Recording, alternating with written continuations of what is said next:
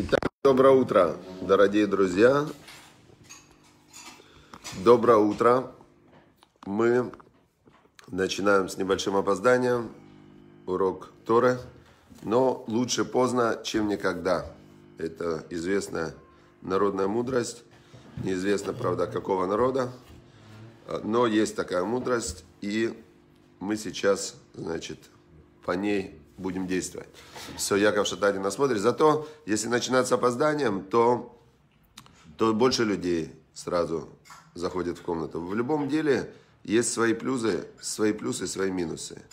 Так, сейчас открываю я, открываю я Мишли, 4 глава.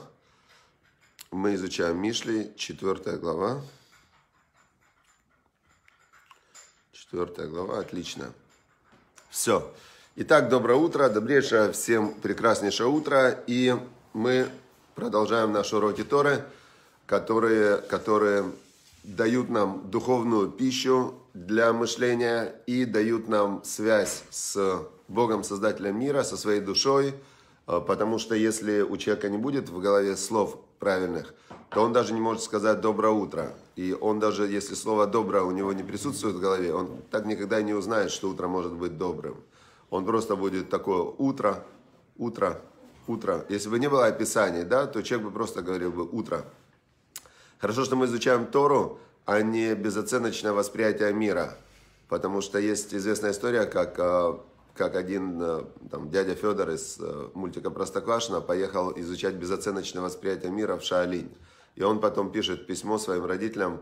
Он пишет «Здравствуйте, родители, я в Шаолине, дела у меня теперь никак с этого момента. Потому что если безоценочное, то дела всегда будут никак. Как дела? Никак. Никак. Вот. А у нас э, мы не знаем, как дела. Мы знаем, что Тора нам сообщает все правильные слова. И если эти, этими словами думать и разговаривать, а причем интересно, великие мудрецы Торы, они не разговаривают, вот как мы разговариваем там, э, ну вот, здрасте. Великий мудрец Торы, например, он до молитвы скажет, как написано в Шулханорухе, что нельзя говорить до молитвы шалом. А до молитвы человеку, потому что ты еще с Богом не пообщался, до молитвы можно говорить только цафра тава на арамейском языке. Цафра тава написано. Теперь э, они думают, если закон, надо сказать צפרא טבא. Что имеется в виду? Имеется в виду, что можно говорить любое здрасте, кроме кроме шалом слова, которое является именем Всевышнего, или же нужно говорить именно צפרא טבא. И есть, которые говорят, а что нам выдумывать другие слова, вот эти вот там «здрасте», «доброе утро», «bonjour» и так далее. Написано צפרא טבא на арамейском, хотя на нем никто уже не разговаривает, только есть святые книги на арамейском. В то время это был разговорный язык, когда был э, язык Торы, это был святой язык, а арамейский был разговорный. Он был похож на иврит, но чуть-чуть отличается. И есть, которые говорят только צפרא טבא, а есть, которые говорят, имеется в виду, имеется в виду, что можно сказать на любом языке, кроме святого языка, до молитвы друг другу «здрасте». И они говорят «bonjour», там «hello», ну, как мы, «здрасте». Я отношусь ко второй категории. Но могу перейти в первую, чтобы быть еще более таким, знаете, есть люди такие прямо консерваторы, которые прям строго вот такие. И буду говорить завтрашнего дня, например, Цафратава, только Цафратава. Почему? Чтобы не, не путаться, себе голову, чтобы не путать. Вот это Тора. То есть э, каждый выбирает э, свое какое-то взаимодействие с Торой. Для кого-то это просто точка, и газетные статьи про религиозных, которые пишут нерелигиозные. Вот все его взаимоотношения с Торой.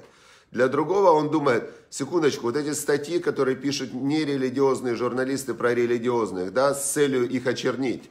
Не может же быть, что это Тора.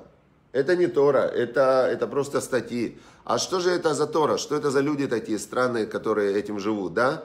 И он заходит, начинает, оп, урок, пишет в гугле, уроки Торы начинает слушать уроки Торы. Дальше он находит сайты, в которых, э, в которых есть Тора в чистом виде. Я сразу хочу сказать, что в Тора на русском языке в чистом виде есть на сайте toldot.ru. toldot.ru Там именно Тора Нета, от тех людей, которые именно только учат Тору, то есть это такие копирайт, носители Торы, да, Равашар Кушнир такой копирайт на Тору. И, значит, э, вот, пожалуйста, если вас Тора заинтересовала, вы хотите глубже понять законы, как действовать в Торе и так далее, заходите taldo.ru, вопросы раввинам там и так далее. То есть там у нас мы о Торе, о Торе. Хорошо. Значит, э, двигаемся дальше, двигаемся дальше. Пончик, кто нарисовал аппетитный, э, это вообще не пончик, а яблоко. Спасибо вам за это. Это, да, это сзади меня не пончик, а яблоко. Яблоко. Все. Это как раз у нас есть знакомые, кто нарисовал. Вот они как раз думают, вот религиозные люди, евреи. А это знакомые не евреи и не религиозные. И у них э, праздник сейчас какой-то. Какой у них праздник? Они как-то узнали, что, наверное, Новый год они думают, да?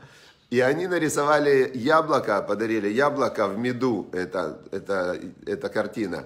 А вот люди спрашивают, потому что вы знаете, видно сразу, что человек знающий, что сейчас Ханука и почему-то едят пончики.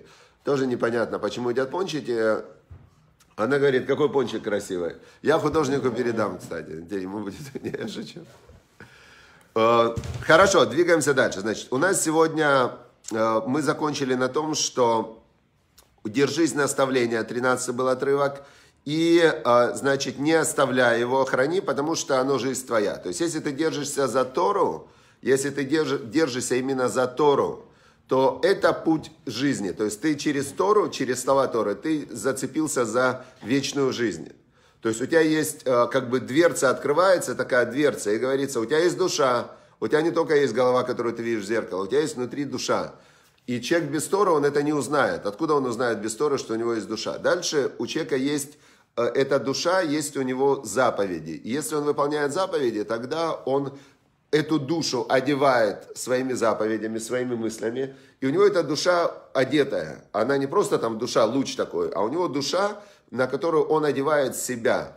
Дальше он тах, тах, одевает, одевает заповеди Тора. Потом приходит момент смерти, его душа выходит из тела, и она видит себя одетой. И она такая, о, то, о чем я читал, и то, ради чего я работал, оно начинается. Все, поехали, значит, садиться на Харлей и в рай на Харли Дэвидсоне. Может быть, я же не знаю, насколько сильны у этой души э, свойства самовосприятия, э, то есть мы себя воспринимаем, мы себя воспринимаем только э, тем телом, которое мы видим в зеркало.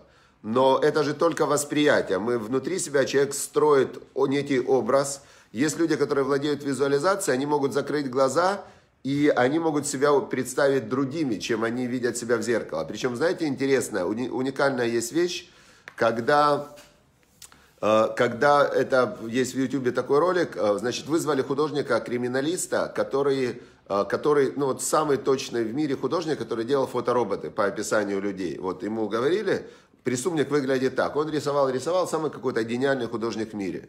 Брали людей, вот так вот брали конкретно, там, по-моему, человек 15 женщин, и, значит, вот так простынка. И женщина описывает себя. Описывает себя, он рисует. Она сама себя описывает, он рисует. Потом, значит, вторая женщина описывает себя, он рисует. Третья описывает себя, четвертая описывает себя, пятая описывает себя. А потом взяли они, этих женщин опять смешали. И э, эта женщина сидит, рядом с ней сидит другая женщина. Он же не видит за простынкой. И описывает ее в произвольном порядке. И он, опять же, рисует по описанию фоторобота, ну не фоторобота, эти рисунки. И потом э, развесили эти картинки. Вот женщина себя описывает, вот ее описывает кто-то. Вот женщина себя описывает, вот ее описывает кто-то. Вот женщина себя описывает, вот ее описывает кто-то. И оказалось, это удивительная вещь, что когда кто-то описывает человека, он выглядит по-другому, чем когда человек сам описывает себя. И все время было, что когда кто-то описывает человека, то получался человек красивее, чем человек описывал себя. То есть это есть в YouTube такой ролик, э, с чем это связано, как это связано, непонятно. Теперь, значит, но что будет с душой, вот эта вот ее сила самовосприятия, как она будет себя воспринимать, насколько она будет повторять размеры тела, из которого она вышла и так далее, это мы все узнаем после смерти. Э, мы вчера, не знаю почему, получили сообщение, что умерла мама наших э, друзей, значит, и чтобы вот у нее была Маши Плетневой мама умерла, и чтобы у нее, ну я пока не знаю почему, но она достаточно была молодой женщиной, чтобы вот Тора, которую мы изучаем, чтобы помогла ей пройти. Говорят, что душа первые там три дня, наиболее ей страшно, то есть она, тело не отрывается, она вот тут вот вокруг тела летает и не хочет никуда лететь а потом 7 дней, а потом 30 дней. Там. Но у цадиков, у них этого нет, им, им не страшно. Они всю жизнь ждали быстрее в рай, там, туда, к родственникам там, и так далее, уже ну, заждались, к великим мудрецам прошлых поколений. Цадики, они говорят, вот быстрее бы, быстрее бы, значит, э, туда, дальше. Я, кстати, вчера читал, что Рав Зильбера в книге «Чтобы ты остался евреем» рассказывает, что когда его отец умирал, и он перед смертью, значит, умирал, и потом он открыл глаза и говорит, за мной пришел мой папа, его папа. То есть они все за мной пришли, чтобы меня проводить в рай, великие праведники, у них там особенно есть место, их встречают. Поэтому имеет смысл при жизни учить Тору, чтобы потом сразу, сразу идти в очень хорошее, интересное место. Хорошо. Это 13 отрывок, мы вчера на нем закончили. Сегодня 14 отрывок. Б-орах решаим аль того, в альта ашер бедерех раим. Значит, переводится 14 отрывок так. Не вступай, бы орах решаим.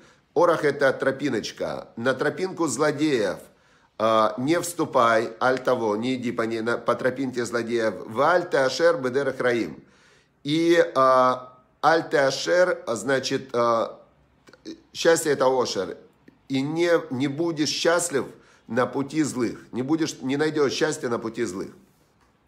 Значит, путь это широкая, широкая такая дорога. А Орах это, это маленькая тропиночка. Теперь, а, помните, мы учили до этого отрывок, был такой «Беколь драхеха деегу» «На всех своих путях познавай Бога», «На больших дорогах познавай Бога», «В уя ашер архатеха» и он выпрямит твои дорожки. То есть дорожки имеется в виду э, мелкие жизненные решения, а пути – это глобальные жизненные решения, по которым ты идешь. Теперь, значит, сказали нам, что на тропиночке злодеев не становись, и счастья не будет на пути злых людей. Значит, что имеется в виду? Человеку вначале, любой человек выбирает вначале себе идеологию. Ты с кем вообще? Вот его спрашивают, ты кто по понятиям, да? И он должен сказать, я по понятиям, кто я. Обычно человек говорит, э, ну там, э, где-то, если мы посмотрим на Западе, он э, сразу скажет, я там евангелист, скажет какой-нибудь человек, да, в Америке, их там 70 миллионов, они христиане-евангелисты. Мусульмане, он скажет, кто я, я мусульманин, какие ко мне вопросы. У меня, меня ждут там 43 девственницы, или сколько ждет мусульманина девственниц в раю. То есть у них особенный рай, я не знаю, как заполненный чем. Теперь, значит, у, спросишь у еврея, ты кто? И тут начинаются часто разговоры такие. А, а что вы имеете в виду? А вы кто? А, а что значит ты кто? Что значит я?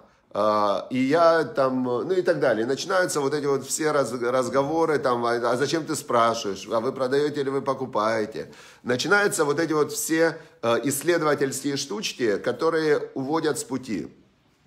Но тем не менее человек должен определиться со своей жизненной идеологией, по какой системе он живет, что для него добро, что зло, что правильно, что неправильно и так далее.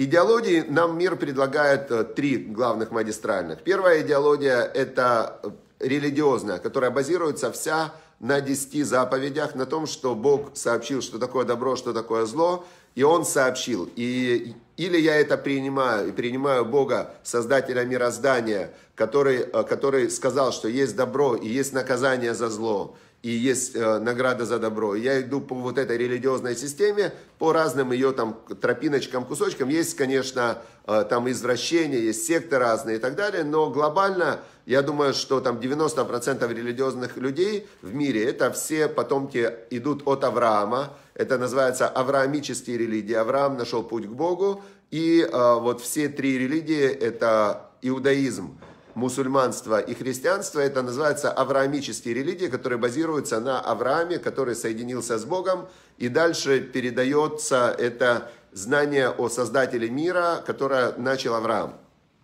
Это первый путь. По нему идет в мире, если посмотреть, наверное, процентов 80 людей в мире, если погуглите в Википедии, они верят в Бога, в Создателя мира, и соблюдают законы в большей или меньшей степени то, как Бог хочет, чтобы люди жили. На сегодняшний день, э, ну, может быть, 70%. Я думаю, они верят 80%, но, но соблюдает строго 10%, да, может быть, 10, 5%, 3%. Евреев в мире, знаете, сколько евреев в мире? 0,25%. А из евреев, из этих 0,25% населения мира, из них соблюдает 10% строго. Это 0,02% они, э, они именно соблюдают. Но я вам так скажу, что если мы возьмем э, у человека мозг, например, да, мозг человека, и возьмем в мозге ту часть мозга, которая отвечает за высшие проявления человека, за речь, например, да, то это тоже будет э, от массы человека, будет там 1-2%, но именно это то, что делает человека человеком. Тоже это, ну, как бы количественная часть, она не принципиально важная, потому что возьми какой-то микропроцессор из телефона, вытащи один, он работать тоже не будет. То есть э, есть... Э, хорошо, значит, это 80% возьмем. Дальше, есть примерно процентов 20 осталось у нас. Из этих 20 процентов процентов 15, я думаю, 15 процентов называют себя гностики. Некрасивым словом, гностики такие они. Они гностики, имеется в виду, они такие, что вижу, в то верю, что не вижу, в то не верю. То есть вот вижу чашку, в чашку верю, а Бога вижу, я в Бога не верю. Но все равно им надо, э, надо им выбрать какую-то идеологию. У этих гностиков все равно есть какая-то идеология, и все равно он скажет, ты мою чашку не трогай, чашка моя. А ему скажешь, а что тебе, какая тебе разница? Ты веришь в чашку, я верю в чашку. Стоит чашка, стоит, а я не верю, что она твоя. Так гностику можно ответить. И все. У гностиков проблема очень серьезная у гностиков, что они видят только то, во что они верят. Верят то, во что они видят. То есть у них сложно с правилами. И есть процентов в мире, я думаю, 5 людей, которые э, служители зла. Может быть их 2%, может быть их 1%. Но это называется вот те, по которому нам сказал царь Соломон, не найдет счастья на пути злых. То есть есть люди, которые проповедуют идеологии зла. Конкретно, откройте, пожалуйста, в Википедии, наберите там воровские понятия. Шесть воровских понятий, шестое приближая к воровским понятиям. Занимайся кирувом. То есть э, каждый, кто живет по воровским понятиям, должен э, рекрутировать рекрутировать свою систему людей, которых обучают конкретно воровать э, и так далее. При этом интересная какая вещь, что зло, написано в Торе, у зла нет ног. И невозможно, чтобы человек, ну, есть маньяки, которые маньяки, маньяки, но их вообще единицы, это, ну, сбой вообще какой-то программы. Но как же так привлекают они, например, там, я не знаю, в бывшем Советском Союзе сидит э, около миллиона человек, да, если взять по всем странам. А в Америке сидит в тюрьмах 2,5 миллиона человек. Из них там, например, в бандах состоят сотни тысяч людей, которые именно в бандах, которые профессиональные служители зла. У них э, зло не может стоять, написано в Торе, у него нет ног. Так они внутри они делают внутри, что нужно быть э, честным, ты друг друга не можешь обманывать, там, если ты обманешь другого, то тебе капец и так далее. То есть они внутри делают как бы мир добра для себя, ну, между собой, но это тоже как бы, потому что не может человек быть, тут он зло, тут... Э, понятно, да? Теперь нам сказал царь Соломон конкретно – не найдешь ты счастья на пути злых. То есть, если ты, тебе кажется, что вот эти люди, которые проповедуют там что-то, что идет против Торы, да, против божественных заповедей, что они счастливые, это неправда. Когда идет пропаганда изменения пола, и говорят там, будь кем ты себя ощущаешь, хочешь женщина быть, давай, руби с плеча, все. Это кто говорит? Это говорят э, хирурги, которые за это получают деньги. Это говорят те люди, которые э, с этого зарабатывают. Это говорят журналисты, которым ну, лишь бы раскачать сенсацию. А по, надо посмотреть факты, что они умирают в течение 10 лет после того, как обрезают себе, меняют пол. Они просто тупо умирают. Это люди, которые ради того, чтобы э, ну, реализовать какую-то сумасшедшую идею, они готовы умереть. У них не будет детей, у них не будет семей, у них не будет будущего, они никогда не пойдут со своими внуками в, на каток потому что, потому что они повелись на идею, которая идет, идея зла. Понятно, да? Это а, не найдешь ты счастья на пути злых, а теперь не вступая на тропиночку злодеев. Если человек идеологию себе выбирает, она по идеологии против Торы, против Бога, это как бы идеология, тогда все можно. А тогда уже, если наоборот, вот мы идем от обратного, если на путях своих познавай Его, познавай Бога, то есть ты выбрал идеологию Торы, тогда она выпрямит все твои дорожки. Постепенно она тебе, ты изучаешь Тору, и ты понимаешь, надо жениться, надо родить ребенка, надо работать, надо учиться, надо вставать утром, говорить Афратава, потом надо там молиться, надо быть благодарным. И постепенно, если ты идеологию стал на путь Торы, то эта идеология, она выпрямит все твои маленькие дорожки, у тебя жизнь будет вся гармоничная. То есть там все продумано. Если ты выбираешь идеологию, опа, убрали, Торы нету, все, нету Бога, нету награды, нету наказания, делай, что хочешь, тогда у тебя полная путаница в голове. Тогда ты можешь уже украсть, ограбить, э, там, э, ну и все остальное для тебя становится возможным. А все равно же есть специально обученные люди, которые ловят тех, кто делают зло. Специально мир так устроен, что даже по правилам мира вероятность того, что злодея найдут, злодея, преступника, вероятность того, что человек, который там ушел, например, от э, семьи и детей, и вероятность, что у него начнутся на втором шаге проблемы, она велика. Вот, например, э, я как-то разговаривал с одной женщиной, ну вот, которая, которая разошлась с мужем, да, разошлась она с мужем, все, и она теперь говорит, а я же вообще не предусмотрела. Я-то думала, мне легче будет. А мне вообще говорить сейчас очень тяжело. То есть я на тот момент, когда я решала, что я буду жить без семьи, мне казалось, что я отлично буду себя чувствовать, прям великолепно. А потом она говорит, а я не думала, что столько сложностей. То есть мне было исправить намного легче бы, чем я сейчас себе создала столько трудностей, которые просто у меня капец не предусмотрено. Это называется, когда ты выбираешь прямую дорогу, она выпрямит потом твои маленькие тропинки. Если ты уже пошел по дороге со злодеями, то у тебя с тропинками потом тоже будет все нехорошо. Пятнадцатый отрывок. Про эу альтаворбо сте малав вавор. Значит, э, переводим отрывок. Э, Парегу, альтавор. Значит, пареу это как избегай его. Аль-Тавор, не проходи по нему. Сте Меалав, это уклонись от него. Веавор, пройди мимо. То есть нам дается здесь четыре варианта, как, э, как избежать контактов с плохими людьми, со злом. То есть есть зло, которое идеологическое зло. СМИ, современные СМИ, они а, его тиражируют. То есть это чаще всего зло в квадрате, которое имеет свою конкретную цель прямо зайти в мозг человека и человека забрать себе и перевести, значит, его на какие-то тропинки злодеев. Теперь, значит, что делать? Первое, сказали нам, избегай его. То есть ты э, сурмира, васетов, отодвинься от зла и делай добро.